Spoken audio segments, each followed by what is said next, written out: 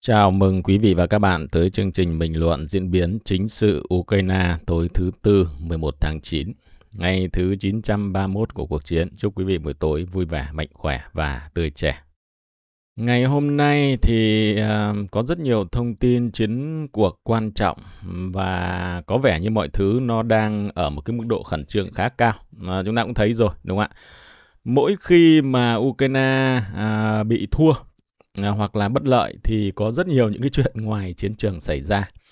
Ngày xưa quý vị nhớ rằng là lúc chúng ta bàn về cái vụ uh, Ukraine đã sử dụng UAV để tấn công vào sân bay uh, Pskov uh, ở khu vực đây đúng không ạ?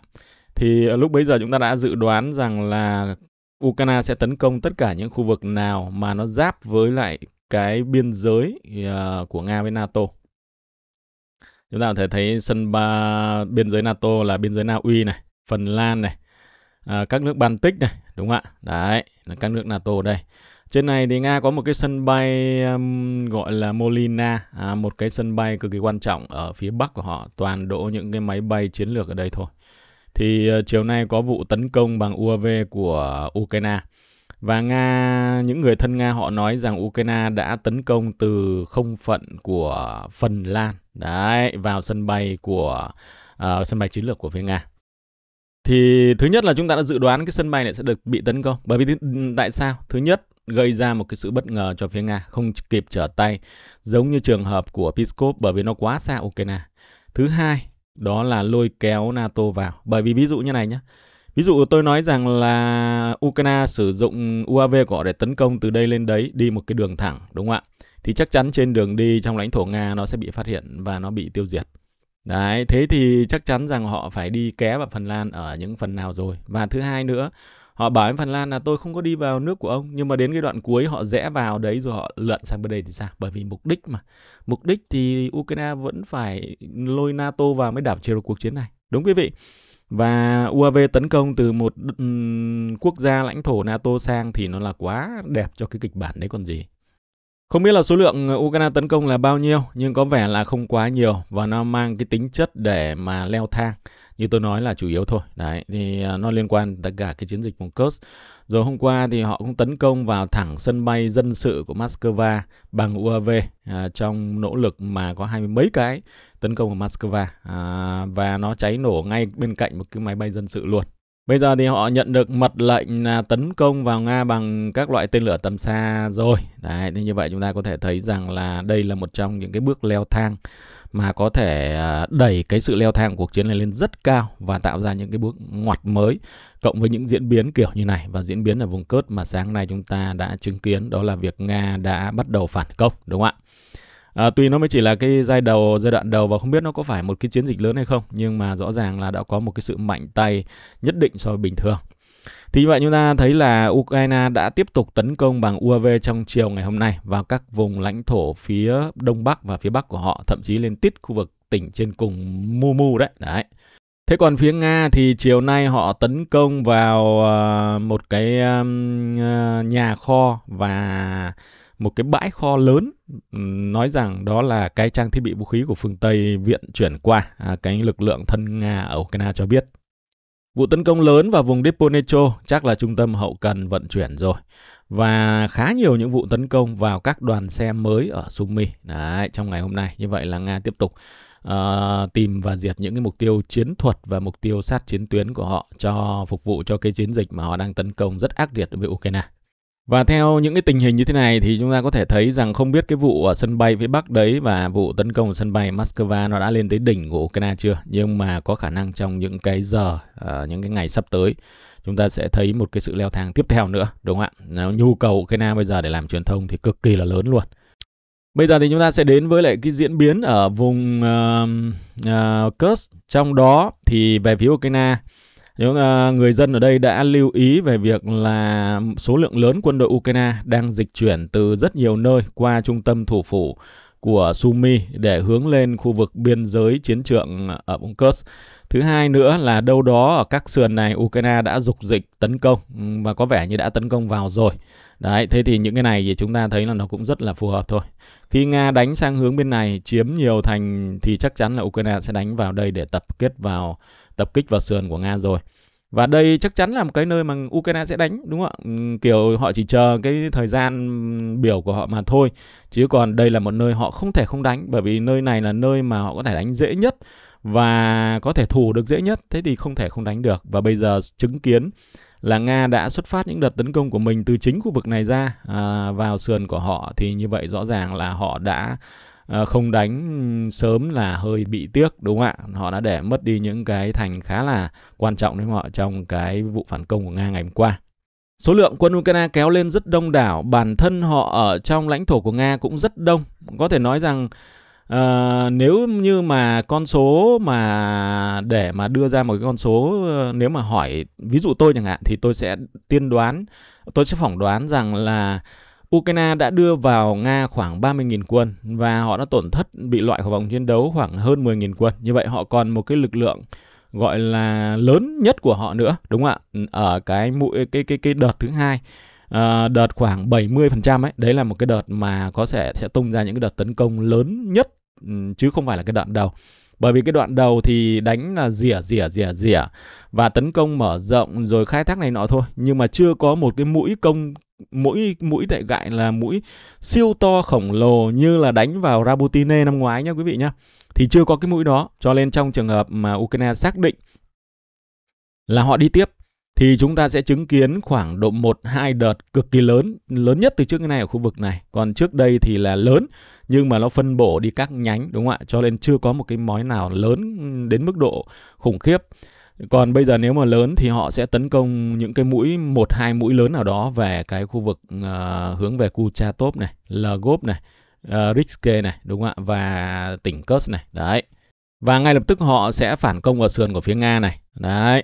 Thế còn bây giờ về phía Nga thì uh, chúng ta sẽ đi qua một vài những cái diễn biến trong chiều ngày hôm nay liên quan đến khu vực này rồi chúng ta sẽ nói kỹ hơn này một chút liên quan là Nga tại sao lại làm như thế và sắp tới họ định làm gì.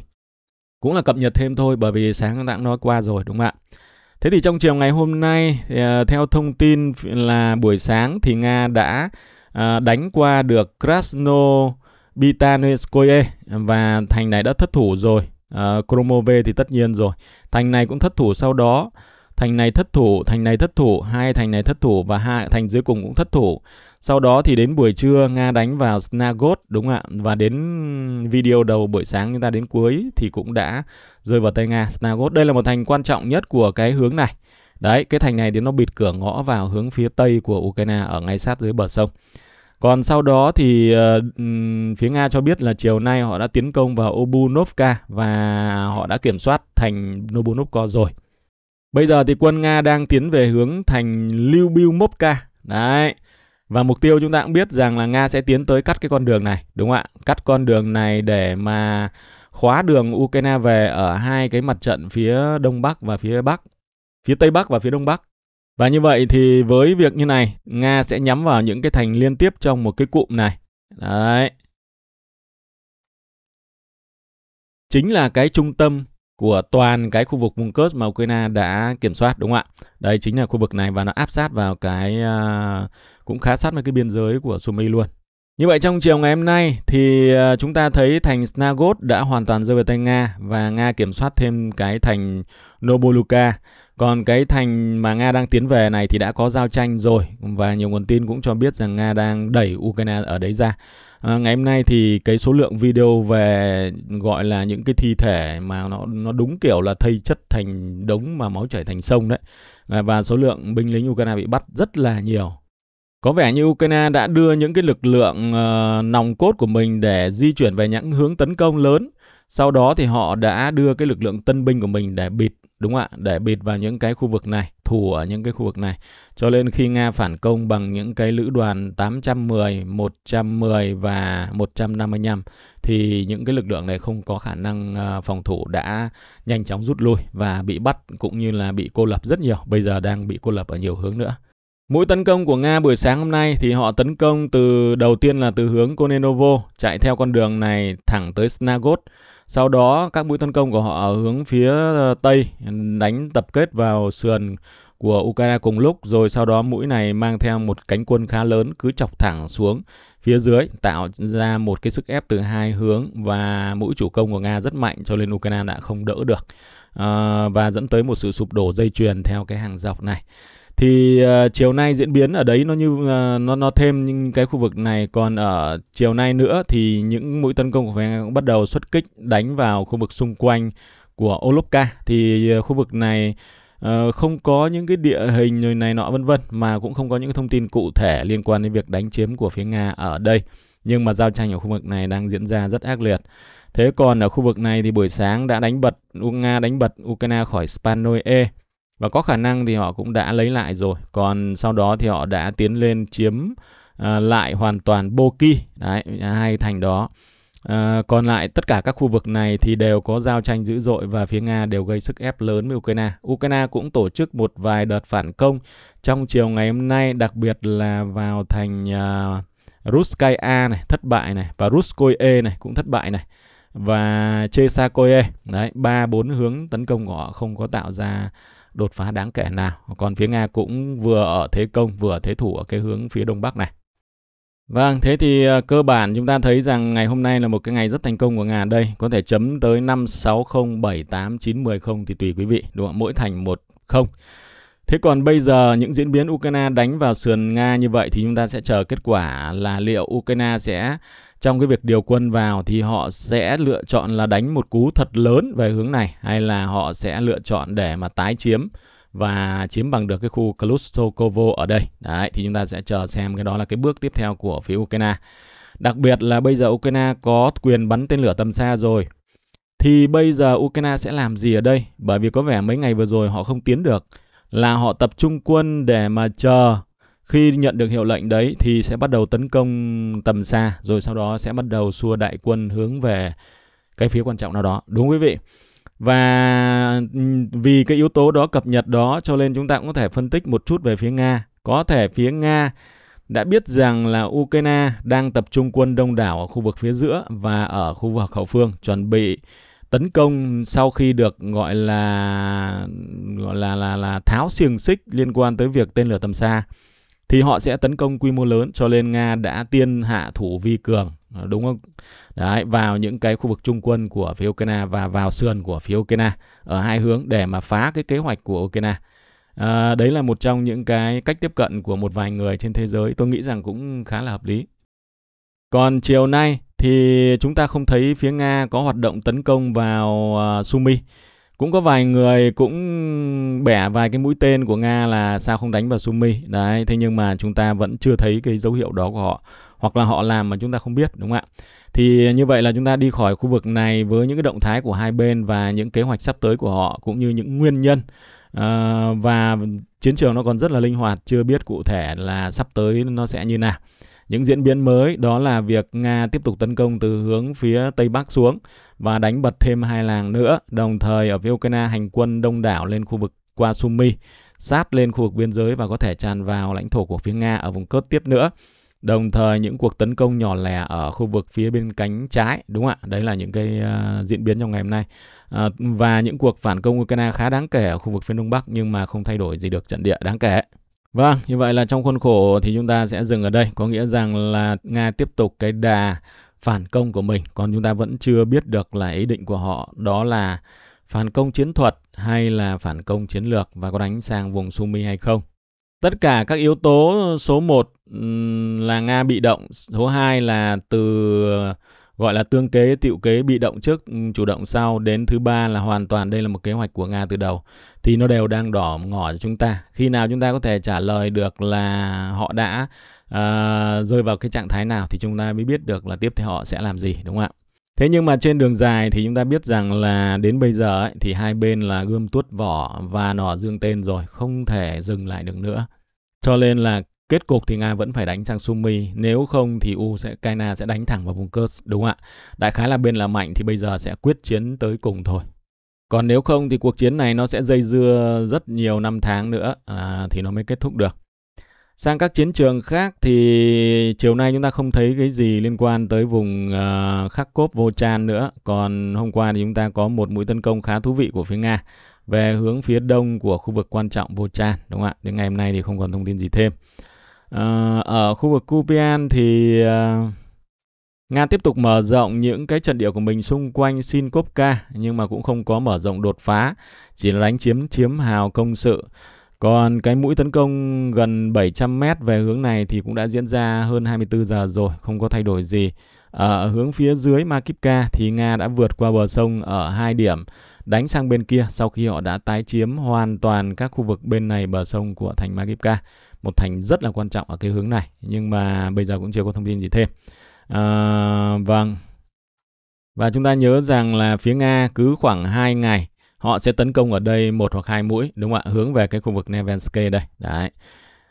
Còn ở hướng phía ờ, khu vực Sivek thì không có thông tin gì. Tuy nhiên là ngay mé đó thì các bên đã xác nhận phía Nga tấn công ở đây một khoảng khá cao. Uh, lên tít khu vực này về dọc theo cái trục đường quốc lộ hướng về Slovian. Rồi ở ngay phía dưới đó sáng nay thì Nga đã tuyên bố là chiếm được Hirorivka, một cái thành rất là quan trọng nằm bên này bờ sông nhưng lại chọc sâu vào bên kia của phía Ukraine, đồng thời là trên cao điểm. Đấy, có thể tạo ra những cái nguy cơ và những cái cơ hội chiến thuật cực kỳ quan trọng cho phía Nga khi mà họ có thể đánh lên ba bốn hướng cùng một lúc toàn là các hướng rất là quan trọng. Và đây một trong diễn biến cực kỳ nguy hiểm của Ukraine hướng này. À, các trận đánh diễn ra ác liệt ở hướng phía bắc và phía nam của uh, Chasipja à, còn hướng chính giữa thì không có thông tin gì. Chiều nay một trong thông tin rất là thú vị và được chờ đợi đó là việc sau khi Nga đánh chiếm được cái nhà ngục này rồi thì như chúng ta thấy rằng là họ uh, lấy để làm thủ nhưng mà cũng có thể để làm một cái bàn đạp để tấn công sâu thêm đúng không ạ? Và chúng ta đã có bước tấn công của phía Nga theo cái bản đồ mà chúng ta hay ờ, sử dụng gần đây thì họ đã tiến khoảng độ gần một km nữa để mà dí sát vào khu vực trung tâm pháo đài lõi của Ukraine đó là các tòa nhà cao tầng ở trong khu vực hành chính ờ, lớn. Đấy, và bây giờ họ chỉ còn cách một đoạn nữa thôi đúng không ạ? Tôi chắc là khoảng độ 500 mét nữa là chạm tới cái ờ, những cái tòa nhà cao tầng đầu tiên rồi. Một cái bước tiến cực kỳ cực kỳ quan trọng của phía Nga. Dựa hết vào cái việc mà họ đã chiếm được cái nhà tù vừa rồi mà hôm qua là chúng ta đã nói đúng không ạ? Nếu mà nhìn trong bản đồ uh, của cái bản đồ đó thì chúng ta sẽ thấy nga đã chiếm được một cái khoảng như thế này đây đến đây đến đúng cái trạm xăng này và như thế này một cái rất lớn đúng không ạ cái này thì từ chiều hôm qua rồi còn đây chính là cái mà diễn ra trong buổi uh, chiều ngày hôm nay của chúng ta còn cái uh, pháo đài mà tôi vừa nói cùng quý vị nó chính là nơi này. Nó rất giống cái uh, pháo đài ở Bắc Mút ngày xưa nhưng mà có vẻ nó còn to hơn rất nhiều, đúng không ạ? Đấy, nó rất nhiều và đây chỉ là một phần của nó thôi.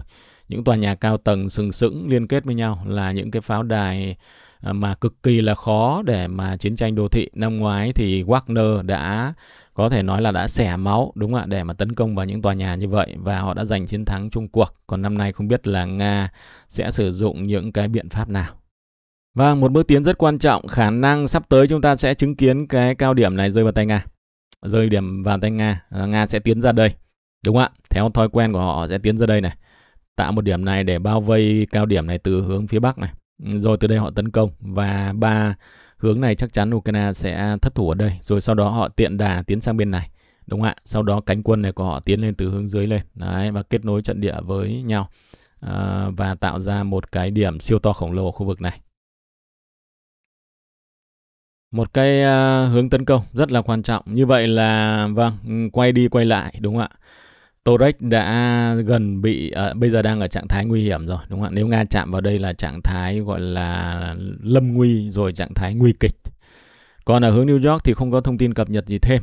Chúng ta sẽ đến với thẳng khu vực Adipka. Sáng nay thì Nga đã cắm lá cờ của mình tại khu vực um, cuối cùng ở Novo ở Horivka, một cái thành rất là quan trọng trong số 3 thành vệ, vệ binh cho hướng Porok đúng không ạ? Thế nhưng tuy nhiên thì bây giờ vẫn đang giao tranh ở đâu đó ở những cái dãy đường cuối cùng ở đây. Điều đấy cho thấy rằng là mặc dù đã kiểm soát những cái khu vực quan trọng nhất nhưng mà Ukraine có một hệ thống phòng thủ ở sát cái thành này từ lúc đầu chúng ta khi Nga tiến vào chúng ta đã xem cái đó rồi.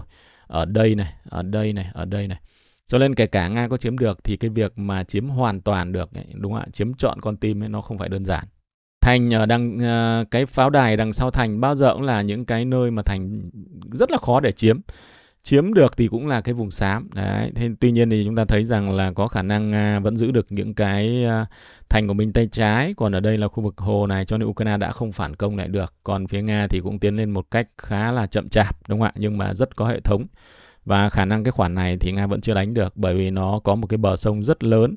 Sông này là sông Zuvaka đấy, chảy ra cái hồ này và nếu như mà Nga chưa chiến đến đây uh, thì rõ ràng Ukraine khá an toàn khi họ có thể hoạt động ở cái khu vực này. Đằng sau có rất nhiều đường để họ có thể rút trong trường hợp Nga ép từ xa hai bên vào. Như vậy thì cái cơ bản nó cũng là vấn đề mang tính chất là hành chính, đúng không ạ? Thủ tục là chính thôi, chứ còn uh, toàn bộ cái khu vực đô thị lớn thì đã rơi vào tay Nga rồi. Và có khả năng thời gian tới Nga sẽ tấn công hướng này nếu như mà họ đã à, chiếm được ở đây họ sẽ đánh ra đây để cắt đường về và úp vào lưng cái cánh quân Ukraine còn lại trong cái thung lũng này. Chiều nay một thông tin rất thú vị ở hướng chính đó là một vài nguồn tin cho biết Ukraine đã rút khỏi thành Suriza. Đấy, thành này thì Nga mới đánh tới rìa rìa thôi nhưng mà Ukraine đã rút đi rồi. Thì, ờ, tất nhiên thì nó cần phải xác minh nữa. Thế nhưng mà rút đi có nghĩa là thành cái vùng xám. Còn quân Nga đâu đấy đang dập dờn ở cửa ngõ của Lysivka. Đấy, thì có vẻ như với thông tin như vậy chúng ta thấy rằng là phía Nga đang đánh rất dữ dằn về hướng này đúng quý vị. Nhất là buổi sáng uh, hôm qua thì họ chiếm một cái mỏm đây. Ukraine rút ra đây, họ tiến tới khu vực này. Rồi sau đây sáng hôm nay thì họ chiếm nốt cái khu vực này toàn bộ hướng phía tây của Novorovka và áp sát vào khu vực cái um, mỏ đá đây. Rồi quân họ đã áp sát tới bờ hồ lên đây. Đúng không ạ? Thì cái việc Nga đánh tới đây và thì không biết nó là như nào. Ukraine thì cũng nói rằng đó là các cái mũi trinh sát của phía Nga thôi. Thế nhưng mà có nhiều thông tin là họ đã rút khỏi một trong hai thành này thì chúng ta sẽ chờ xem rõ ràng là phía nga vẫn tỏ ra ở cái thế công rất mạnh, đúng không ạ và Ukraine vẫn, đấy, như trường hợp như Sukiza này, họ phải rút đi thì rõ ràng cho thấy rằng là họ uh, với cái quân của họ đến đông đảo như vậy và những cái thành này phía Nga vừa mới củng cố trận địa được có vài ngày mà để cho Nga tiến thêm thì có thể nói rằng là nó rất là khó tin. Nhưng mà thôi tạm thời chúng ta cứ tin về cái bước phía của Nga như vậy. Ừ, thực tế mà nói thì Ukraine sẽ không cho phép ừ, rơi hai thành này một cách dễ dàng đúng không ạ? Rơi hai thành này thì họ sẽ bị áp sát tới gần Vorok còn đâu. Đây quý vị xem này, hai thành này nó chính là hai thành cửa ngõ để mà làm các cái công tác phòng thủ cao su. Từ xa đường vành đai 3, đúng với quý vị? Vành đai 2 ở đây. Nếu như mà họ mất cái này thì mất hẳn một cái vành đai phòng thủ. À, và Nga chiếm được khu vực này, Ukraine rất khó để tái chiếm lại được. Và coi như vậy thì họ đã tiến vào vùng Vorok rồi cho nên là đây là hai thành trông nó chơi lever nếu mà là rất là quan trọng ngoài ra mất khu vực đấy thì họ cũng có thể mất toàn bộ cái cánh phía đông này để nga tiến ra khu vực đường tàu, đường quốc lộ và tạo một cái ờ, gọng kìm siêu to khổng lồ ở phía bắc Selidove, đúng không ạ? Và có thể đánh vào Selidove để chiếm bất cứ lúc nào. Chiều nay thì phía nga cũng đã xác nhận lại việc họ đã chiếm hoàn toàn Martinivka. Quân của họ bây giờ đâu đấy đã áp sát tới khu vực phía bắc này nhưng mà tôi vẫn không biết thông tin về cái việc mỏ đá này đang nằm trong tay ai. Không ai nói về cái này là một thông tin rất là thú vị. Cái cao điểm này là quý vị này. Đấy, vẫn chưa có thông tin là ai làm chủ. Còn ở phía dưới thì không có thay đổi gì ở hướng trong Selidove à, và hướng Mikhailivka như sáng ngày hôm nay. Thế nhưng mà chúng ta nhìn thấy là các vùng xám ở phía bắc của Ukraine, à, Sờ thì đã biến thành vùng cà phê rồi. Có nghĩa là Phía Nga đã tiến vào kiểm soát rất nhiều vùng quan trọng áp sát vào cả cái cao điểm lẫn phía bắc thành phố. Đồng thời là có thông tin là quân Nga còn luồn ra tận đằng sau hướng Tây. Đấy, có nghĩa là họ đã định cắt cái này này. Cắt cái đường uh, tiếp viện duy nhất dẫn vào Ukraine này, đúng không ạ? Đấy, và cô lập hoàn toàn cả cái cao điểm lẫn thành phố. Còn uh, nhiều nguồn tin cũng cho biết là quân của Nga vẫn tiếp tục uh, công phá ờ, ở đặc biệt là mạnh ở hướng phía nam và hướng phía bắc. Còn hướng phía đông thì đội quân rèn giữ uh, gây sức ép khắp nơi cho Ukraine. Nhìn chung thì không khí trong chiều ngày hôm nay ở hướng Alipka thì thành Ukraine này là thành mà chịu nhiều sức ép nhất và phía Nga tiến được nhiều nhất. À, phía dưới họ cũng tiến xa được thêm nhưng mà chúng ta chưa có bản đồ còn buổi sáng nay thì chúng ta đã có những cái xác nhận uh, của phía thân Nga về việc Ukraine đã tiến vào đâu đó uh, khoảng độ 10% của thành Hinich đúng không ạ? Đấy thì um, thông tin này vẫn chưa được xác nhận chúng ta sẽ chờ xem. Và bây giờ bây giờ phía Nga đang cố gắng tấn công ra tạo một đường khe chỉ luồn kim giữa hai thành đến tận khu vực mỏ đá ở đằng sau, cắt đường tàu và đường uh, hậu cần tiến vào Hirik. Với diễn biến xung quanh thành Ukraine phía trên này thì có thể nói là cái thành này nó ra đi bất đắc kỳ từ lúc nào không biết đúng không ạ? À, đấy Nga đang à, chúng ta thấy là ở đây nếu nhìn trên toàn cuộc thì như này chúng ta có thể nhìn thấy như này nhé. Nga gây sức ép rất ác liệt ở hướng Novohorovka đúng không ạ? Và khu vực Selidove, à, Mikhailivka và gây sức ép rất ác liệt vào thành Hirik ở phía dưới cũng như các cái cánh xung quanh của cái thành này đúng không ạ? Đấy, thế nhưng mà cái mục tiêu thì chúng ta nhìn thấy mục tiêu chính của Nga đó là thành Ukraine. Bởi vì thành này nó nằm ở giữa hai cái khu vực quan trọng kể trên. Đúng không ạ? Mà cái thói quen của Nga là họ sẽ chọc vào giữa. Đấy, rồi từ đó họ phá toang ra hai bên. Đúng quý vị, đây ba thành này nằm đúng trên một đường thẳng à, ở đây. Và bây giờ Nga đang gây sức ép với lại hai phía bên và đồng thời là tạo ra các cái khe tấn công vào giữa để cắt liên kết giữa hai cái này rồi tấn công từ hai hướng vào hai thành hai bên, đúng không ạ? Rồi công kích mạnh vào Ukraine. Bây giờ thì họ đã bao vây ba phía rồi. Như vậy là nhìn vào cũng biết rằng là trong một thời gian ngắn nhất có thể, Nga sẽ ra tay để mà xử lý nhanh cái này. Rồi từ cái này mà đã mất rồi thì Selidove cũng rất khó giữ vì trên này chuyện tương tự cũng đang xảy ra đúng không ạ? Còn thành này sẽ bị cô lập và cánh quân ở bên đây mà nó tiến tới thì cũng không giữ được nữa. Đấy, nhân cách cái chiến thuật của phía Nga đây nó rất là kinh điển đối với họ. Dương đông kích tây và không có chống rong cờ mở để Ukraine không đại khi nào pháp phát hiện ra thì nó đã quá muộn rồi đúng không ạ? Đấy bây giờ chúng ta nhìn thành này Ukraine này. Thành này nằm lọt khe chưa đúng không quý vị? Lọt khe rồi đấy thực ra thì Nga đã tiến xa hơn rồi nhưng mà như thế này chúng ta đã thấy là họ đã mất gần 3 trên 4 hướng rồi còn đâu trong khi đó sườn hai bên thì cũng khá là mạnh cho phía Nga rồi. Ukraine có phản công lại thì cũng phản công ở hướng chính thôi, cũng không cắt được vào sườn của Nga. Vâng, như vậy là tâm điểm của Adipka đó là Porok, đó chính là thành Ukraine bị phía Nga bao vây quá nhanh mà không hề phát hiện ra, đúng không ạ? Sáng nay thì chúng ta có Nga tiến vài trăm mét về hướng ờ, uh, Masminivka và tiến sang bên kia bờ sông. Không rõ là những vụ giao tranh ở đây bây giờ nó thế nào. Nhưng chắc chắn là bây giờ tất cả mọi nơi có thể chúng ta không nhìn thấy đúng không ạ? À, đang có rất nhiều những cái đợt tấn công rồi. Đấy, còn phía dưới này thì đúng là có tấn công và đã tiến rồi, tiến đều theo cái vector của đường quốc lộ ra, Nga không giấu giếm tiến ra khu vực phía nam của Maximinivka, thậm tí vượt qua ở phía nam để mà sau này quay lưng lại úp sọt đúng không ạ? Thế nhưng họ sẽ đánh vượt qua để mà tạo ra cái sự uy hiếp sâu vào trong lãnh thổ của Ukraine. Ở hướng phía dưới cũng vậy, họ đang đánh về hướng phía tây bắc hay là hướng tây của Bobitda này. Đấy, cộng với mũi tấn công của họ đang men theo phía dưới bờ sông, cộng với phía trên đang tấn công như này. Chúng ta có thể thấy đồng loạt các cái vector của phía Nga đều tấn công dọc theo hướng bờ sông về khu vực Andipka, Kurakove, đúng không ạ? Tức là đến thời điểm này thì à, Nga họ không còn một bất kỳ một cái sự giấu giếm nào nữa, đúng không ạ? Tất cả đồng khởi luôn, tất cả các hướng nào liên quan đến Nam Donetsk đều tấn công theo hướng này hết. Đấy, trừ mỗi từ cái đoạn Vuleda này cho tới Velika này thôi. Còn tất cả khu vực này đều tiến lên và đã, đang dường như là đều tăng tốc để cố gắng chọc sâu vào đằng sau của phía Ukraine, đúng không ạ? Đến cái tuyến ở đằng sau này. Đấy.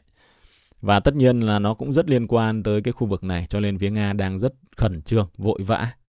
Bởi vì Nga gây sức ép đây như thế này ấy, thì sẽ khiến cho Ukraine sẽ phải rất bận tâm ở đây. Ờ, rồi mục tiêu quan trọng nhất của họ thì không phải là Vuleda ngay bây giờ đâu. Bởi vì tại sao? Bởi vì nếu mà họ đánh sang bên đây ấy, mà giải quyết được Hirik, Ukraine thì Selidove sớm muộn thì cũng ra đi. Nhưng kể cả nó không ra đi thì Nga cũng có thể tiến tới từ hướng Ukraine thẳng xuống khu vực này, đúng không ạ? Nga mà tiến tới đây rồi thì toàn bộ Korekove và các khu vực biên giới này sẽ suy yếu rất nhanh. Lúc bấy giờ họ tiến thực lòng ở hướng này sang thì chắc chắn Ukraine cũng sẽ rất là khó để đỡ. Và lúc bấy giờ thì họ sẽ bắt đầu đồng khởi ở các khu vực này và nó sẽ tạo ra một cái hiệu ứng cực kỳ khủng khiếp đối với Ukraine, đúng không ạ? Vâng, tất nhiên đấy là một kịch bản mà tôi nghĩ là tối ưu nhất thôi. Đấy, chứ còn à, tại sao tối ưu? Bởi vì thực ra vùng Uleda này đánh rất khó. Địa hình cũng như là lực lượng phòng thủ Kena rất mạnh ở chỗ này. Nên là đánh không hề đơn giản. À, trong khi đó họ chỉ cần gây sức ép lớn còn họ tấn công ở hướng đây đang là thế khá là tuyết lăn của họ đúng không ạ khá dễ đánh so với vùng dưới mà đạt được thì nó sẽ làm suy yếu toàn bộ các vùng còn lại đi thì sau này đánh vùng dưới nó dễ hơn nhiều và đấy là lý do mà chúng ta thấy rằng là trong 24 giờ qua, toàn bộ tập trung của Nga nó hướng rất nhiều vào vùng Kursk. Mặc dù họ đánh chiếm xung quanh nhưng mà tất cả nó chỉ là phông nền thôi, phông bạt thôi đúng không ạ? Còn chính nó nằm đấy. Như vậy là các mũi tấn công phía Nga đang tiếp tục tiến lên ở cái toàn bộ cái cánh này, từ đây lên tít khu vực Herodivka trên. Còn chúng ta không nắm được cụ thể là Nga tiến tới đâu, nhưng mà giao tranh đang diễn ra rất dữ dội ở cái phía bắc của mỏ đá số 3. Bom của Nga ném vào đây rất nhiều. Còn mỏ đá số 1 đã rơi rồi, Vodiana à, rơi rồi. Có lẽ là Nga đang chuẩn bị lực lượng hậu cần của mình lên khu vực này, đúng không ạ? Để chuẩn bị cho cái giai đoạn mới nào đó. Đấy. Vâng, đến đây thì chúng ta đã hết những cái diễn biến diễn ra trên toàn tuyến trong 24 giờ. Tâm điểm của nó thì vẫn xoay quanh uh, diễn biến quan trọng nhất là cuộc phản công trên quy mô lớn của Nga, tái chiếm mười mấy thành và hơn 1.000 km ở vùng Kursk uh, trong 24 giờ, đúng không ạ? Và diễn biến quan trọng thứ hai là thành Ukraine ở hướng Porok đang bị Nga vây hãm từ ba hướng và có khả năng nếu Nga mạnh thì trong đêm nay nó sẽ ra đi. Còn nếu mà vâng đêm này thì hơi tham vọng đúng không ạ? Nếu mà phải mạnh đấy mà đánh đánh ở các cửa ngõ phải ép đến mức độ Ukraine phải rút ra rồi đấy. Mà thực ra bây giờ đánh rồi thì nó mới được như thế chứ còn nếu không thì cũng không thể nhanh như thế được. Ờ, còn nếu không thì Ukraine cũng sẽ dễ dàng đánh bật những cái gọng kìm của phía Nga ra. Có nghĩa là thời gian không đứng về phía Nga ở khu vực đó. Các gọng kìm của nó nó rất là miễn cưỡng quý vị ạ. Đấy, họ bao vây qua khu vực đó uh, nó khá là mỏng đúng không ạ? Đấy cho nên là nếu như Ukraine mà ừ, họ đang ở gần những cái thành lớn và có đường tàu ở đây, nếu mà họ tụ tập đông quân đến khả năng là rất cao chứ không phải không. À, để đến khu vực này khi mà họ vẫn còn những cái chiến hào công sự ở đây, thành lớn vẫn còn nằm ở đây và khu vực này vẫn còn rất mạnh đúng không ạ? Thì họ tổ chức những đợt phản công vào sườn của Nga như này có thể ít nhất là hóa giải được hai cái mỏm này hoặc là một thôi thì cũng khiến rất là khó để Nga có thể công phá được một cái thành lớn và kiên cố lại có cái cao điểm đằng sau này trong một ngày như vậy. Và họ sẽ phải rút về để bắt đầu tính cái kế tiếp theo. Đấy là mình đặt ra hai cái giả tưởng như vậy. Tuy nhiên thì xét về cái tốc độ và cái sự quyết tâm của phía Nga sau khi họ có đường thông từ Olovka sang, thì có vẻ như là phía Nga đang rất tập trung và có đủ nguồn lực, đúng không ạ, để cân cái thành Ukraine này. Một trong mục tiêu mà như tôi phân tích nãy quý vị, nếu mà nó ờ, thất thủ ấy, thì nó sẽ toang toàn bộ cái trận địa của Ukraine ra, đúng không ạ? Tạo ra một không gian tiến quân cho Nga và phá những trận còn lại khá dễ dàng. Cho nên là cơ hội bây giờ Nga không làm, họ sẽ chậm. Đấy, cho nên là là hôm nay thời gian đang đứng về họ nếu họ không nhanh thì, thì ngày mai thời gian đứng về Ukraine Bây giờ thì chúng ta đến với những cái thông tin liên quan tới chiến cuộc. Ngày hôm nay thì à, một trong những thông tin mà chiếm hết các cái mặt báo à, đó là việc à, quan chức Bộ Ngoại giao của Anh và của Mỹ đã đến Kiev để gặp nhau ở Kiev. Cơ bản thì họ đến họ ờ, đưa ra đưa cho ờ, một cái đèn xanh cho ông Zelensky là từ giờ trở đi thì ông tha hồ. Cứ có cái gì ông thích bắn cái gì cũng được và ở đâu thì tùy đúng không ạ? Thế thì ở đây chúng ta mới thấy rằng là thực tế mà nói ừ, thì đây nó chỉ là một cái để mà tạo ra cái công lý thôi. Chứ còn ừ, chúng ta cứ nhìn lại mà xem. Những ngày gần đây thì họ đã luôn luôn đưa ra một cái thông tin nó miễn cưỡng là uh, Iran đã viện trợ vũ khí cho Nga đúng không ạ? Tên lửa cho Nga. Thực ra thì Iran đã làm cái chuyện đấy rất lâu rồi. Chẳng qua là họ đưa ra một cái cớ như vậy mà thôi. Thì điều đấy nó ờ, thể hiện những cái vấn đề gì trong cái nhãn quan của chúng ta? Thứ nhất, đó là Mỹ và Nga đã thất bại trong việc đàm phán để mà Mỹ răn đe Nga rằng nếu ông mà viện trợ vũ khí cho các lực lượng này nọ hoặc là Iran thì đặc biệt là công nghệ hạt nhân và công nghệ tên lửa hay là cái gì đó nhạy cảm thì chúng tôi sẽ viện trợ tên lửa tầm xa và cho phép Ukraine tấn công vào đất nước ông. Nhưng nước Nga chắc chắn không đồng ý, đúng không ạ? Bởi vì là cái cái quyền lực của họ, cái um, cái sức ảnh hưởng, cái um, cái cán cân của họ, cái đòn bẩy của họ trong việc đưa vũ khí và công nghệ cho Iran nó có lợi rất nhiều và tính răn đe của nó rất là lớn. Nó thay đổi cán cân chiến lược trên bàn cờ địa chính trị toàn cầu. Thế còn ở nga này thì trước sau gì ukraine cũng bắn và sẽ bắn và đã bắn rồi. Cho nên là người Mỹ đã lấy một cái chuyện mà đại khái như là họ đã làm từ lâu để lôi ra để mặc cả và đã thất bại với Nga, đúng không ạ? Thì như vậy là người Mỹ đã lấy một cái cớ là Iran như vậy để mà họ hôm nay tung ra một loạt các lệnh cấm vận nhắm vào Iran, nhắm vào Nga. Kể cả mấy ông ở Anh cũng thế, cũng nhân cơ hội để cấm vận. Rồi sau đó là tạo ra một cái cớ để mà cho phép Ukraine tấn công tên lửa tầm xa vào Nga. Thì điều đấy về phía Ukraine, chúng ta sẽ chứng kiến họ tấn công tầm xa trong những ngày sắp tới. Chúng ta hãy xem là Ukraine có thể tấn công cái gì và hậu quả của nó ra làm sao. À, về phía Nga thì uh, hôm trước um, chúng ta đã quên ai nói rồi nhỉ? Không biết ai nói nữa nhưng mà nếu như mà Ukraine tấn công tên lửa tầm xa vào Nga thì hai bên bờ Đại Tây Dương sẽ bị chịu những hậu quả nghiêm trọng đúng không ạ? Ngày hôm nay thì ông uh, chủ tịch Quốc hội uh, Volodin Duma quốc gia Nga nói rằng là nếu như Ukraine sử dụng tên lửa tầm xa mà tấn công vào lãnh thổ Nga thì việc đấy tương đương với việc là Nga sẽ buộc phải sử dụng những vũ khí mạnh hơn để giải quyết vấn đề. Đấy, đây là cái nguyên văn của ông ấy như vậy. À, về phương Tây thì chúng ta không biết họ sẽ định làm gì tiếp theo nữa, đúng không ạ? Nhưng mà nếu mà tôi là Nga bây giờ mà theo trường phái là ăn thua phương Tây thì không chỉ Iran mà chắc chắn là tôi sẽ đi tìm những thế lực ủy nhiệm của mình tương đương giống như là phương Tây đang sử dụng Ukraine, đúng không ạ? Để mà chuẩn bị cho những cái việc mà nó mang tính chất là những cái đối sách mà rắn mặt, đúng không ạ? Bởi vì phương Tây đã cho phép Ukraine sử dụng tấn công tên lửa tầm xa, tấn công vào lãnh thổ Nga. Chúng ta cũng biết là Ukraine thường nói rằng họ tấn công vào quân sự, nhưng cuối cùng mọi thứ nó rất là khác, đúng không ạ? Cho nên là cái việc đấy chắc chắn nước Nga sẽ phải có một cái bước leo thang trong lần này, chứ không phải là chỉ đơn giản như những lần trước nữa. Vâng, chúng ta chờ xem những thông tin đó. Còn chúng ta không quên về việc là theo thông tin từ những nguồn tin thân Nga thì UAV của Ukraine đã bay từ biên giới của Phần Lan để tấn công vào sân bay chiến lược của Nga vùng cực Bắc.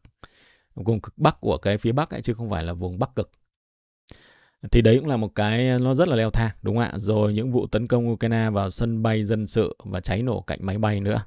Có nghĩa là quý vị có thể tưởng tượng rằng là kể từ khi cái chiến dịch ừ, phản công của vùng Kursk này và cái việc uh, Iran viện trợ vũ khí cho Nga đấy thì những thông tin về chiến cuộc ừ, nó ở trên cả chiến trường lẫn chính trường nó rất là dồn dập đúng không ạ? Và cảm giác như người ta đang kéo những cái dây cung nó xa hết cỡ để chuẩn bị có những cánh cánh mũi tên nào nó bắn ra đúng không ạ? Đấy chúng ta đang chờ đợi điều đó. Đến với những thông tin khác thì ngày hôm nay ông Zelensky nói rằng là à, tự nhiên ông nói một cái câu mà thường thì ông ấy không nói một câu gì từ đáy lòng hoặc từ trái tim đúng không ạ? Mà ông thường nói do cái ngoại cảnh. Ông nói là Crimea là của Ukraine chúng ta sẽ phải tiếp tục cho đến khi nào những kẻ chiếm đóng rời khỏi vùng đất của chúng ta. À, như vậy là những luận điệu của ông một lần nữa nó đã thay đổi đúng không ạ? À, thế thì có nghĩa rằng ông đã nhận được một cái gì đó. Đó là ông nhận được một cái tín hiệu nào đó ông nhận được một cái luận điệu nào đó. Đấy thì chúng ta chỉ biết rằng là nó là luận điệu kéo dài cuộc chiến thôi chứ còn mình cũng không biết cụ thể nó là cái gì. Khi mà Antony Blinken và Bộ trưởng Ngoại giao mới của nước Anh đến đó chắc chắn là ba cái um, nhân vật này sẽ có rất nhiều thứ để nói với nhau.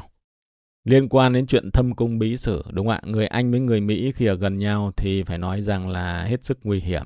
Chúng ta đã biết khi Joe Biden và Boris Johnson hợp tác thì chuyện gì đã xảy ra vào năm 2022 rồi. Đó là sự hợp tác khiến cho cả triệu người đã không thể quay trở về nhà một cách nguyên vẹn.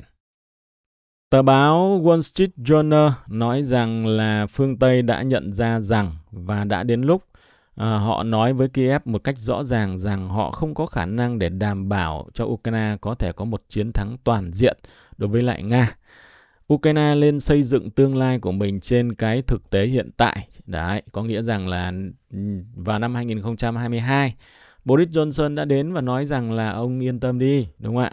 Là nó là mũi mà. Kiểu gì bọn tôi 50 nước mà không tập trung ông để đập được Nga thì ờ, một cái chạm xăng thì nó quá là vô lý, đúng không ạ? Có nghĩa là chiến thắng nó là tuyệt đối nó là trong tầm tay thế nhưng bây giờ thì họ nói rằng là chiến thắng nó không tuyệt đối nữa và nó không được đảm bảo nữa cho nên là Ukraine cũng nên, nên tính là vừa. Liên quan tới uh, chiến sự thì uh, chúng ta đã biết Julian Roque đến từ tờ Bin, một trong những chuyên gia quân sự hàng đầu của phương Tây, uh, đã đưa một bài phân tích khá thú vị liên quan đến tình hình quân đội Ukraine hiện nay là đã có tư thế chuẩn bị cho việc là phòng thủ ở bờ sông Dnieper rồi. Theo ông ta thì tình huống ở mặt trận miền Đông là cực kỳ nghiêm trọng và tồi tệ hơn mỗi ngày một cách trông thấy. Thì không giống như từ trước đến nay, bây giờ rất khó để mà quân đội Nga có thể xác nhận được đâu là cái vị trí Nga sẽ tấn công tiếp theo. Đúng là như thế, đây chính là một cái lá bài của người Nga, đúng không ạ? Họ ờ, quân cơ của họ rất là bí mật cho nên là không biết là đúng rồi. Và đây chính là một cái mà nó cực kỳ là là nguy hiểm đối với lại một cái bên mà dưới cơ. Bên dưới cơ Nga nắm được cái ờ, điểm yếu của Ukraine họ là nếu mà nói đúng ra họ cũng là những chiến binh khá lão luyện. Thế nhưng mà về vấn đề chiến lược ấy thì Ukraine lại là một cái người tân binh đúng không ạ? Và đánh nhau có thể giỏi chiến tuyến nhưng mà những cái kiểu tân binh như thế này ấy, khi mà bị quân địch quấy rối liên tục mất kiểm soát à, không cho giành thế chủ động và đặc biệt là giấu cái quân cơ nội tình thì chắc chắn là sẽ phạm sai lầm liên tiếp. Cho nên là cái việc mà Nga họ giấu được những cái mục tiêu có thể nói rất nguy hiểm đối với Ukraine. Ông nói thêm rằng là tất nhiên Porok sẽ là mục tiêu quan trọng của Nga, thế nhưng mà công bằng mà nói thì Nga đang nhắm tới việc chiếm toàn bộ miền Nam Donetsk, 50 km về hướng Uleda à, và phía Bắc thì Torex cũng là trung tâm của các đợt phản công của Nga. À, tuy nhiên đến thời điểm này cũng chưa rõ là họ sẽ làm gì với lại vùng Chasovya, Konstantinivka. Quân đội Ukraine đã phải đối mặt với một loạt những vấn đề mà bây giờ họ không có khả năng giải quyết. Đó là quá nhiều tân binh không có kinh nghiệm và quá nhiều, quá ít những người chỉ huy có năng lực và rất nhiều những cái um, thảm họa liên quan đến lời hứa. Đó là quá ít sự ủng hộ đến từ phương Tây à, cho vũ khí đạn dược so với những gì mà lãnh đạo phương Tây đã hứa.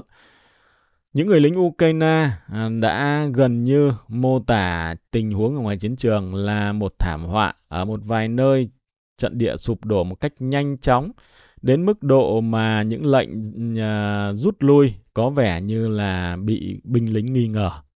Đặc biệt là bây giờ cái cú hích về tinh thần do chiến dịch Kursk đem lại nó đã biến mất rồi à, và À, bây giờ nếu Ukraine không chặn được bước phản công của phía Nga, rất có khả năng thì Ukraine sẽ hứng một cái cú hích à, liên quan tới à, tinh thần à, mang tính chất là tiêu cực chứ không phải là tích cực.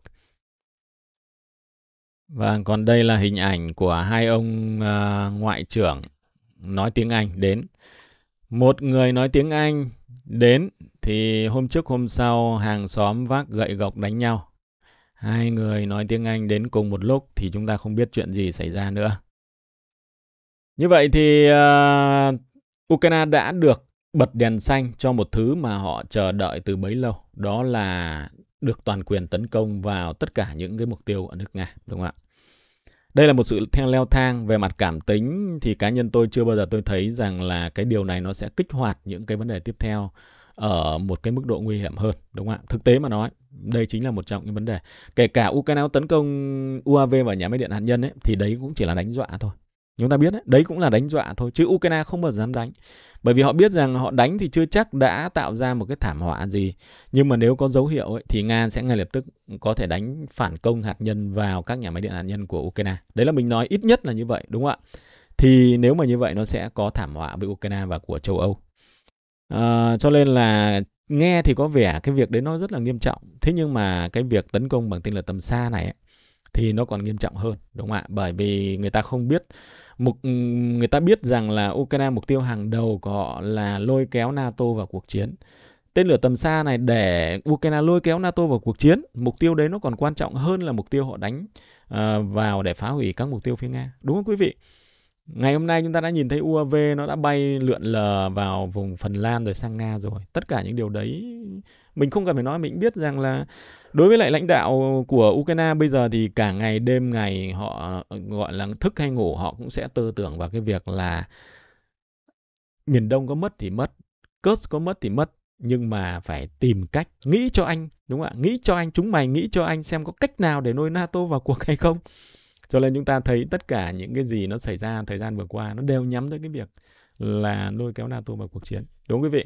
Đấy, cho nên là đấy những cái diễn biến như này có thể nói là rất là nguy hiểm thì chúng ta sẽ chờ xem Vâng, cảm ơn quý vị đã dành thời gian theo dõi chương trình và hẹn gặp lại quý vị trong những chương trình tiếp theo. Chúc quý vị một buổi tối vui vẻ, mạnh khỏe và tươi trẻ.